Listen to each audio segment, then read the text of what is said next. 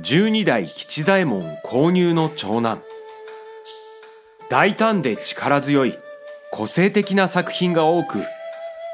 鉱石を研究し打活油鉱石油など独自の釉薬を用いた釉品を多く残された十三代吉左衛門生乳